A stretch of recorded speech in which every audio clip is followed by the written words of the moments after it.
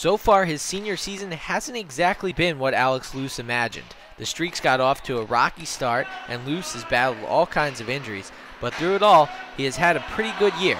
I mean, I definitely didn't think any of this stuff would have happened coming into this season, but I mean, you have to deal with adversity and overcome it. So it's all part of hockey, and just getting banged up is all part of the game. So.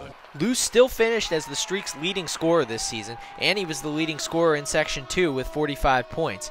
He was also named the CDHSHL's Player of the Year by the coaches. You know, Alex is a different guy um, from when the season began. He's, uh, more, he's more of a team player.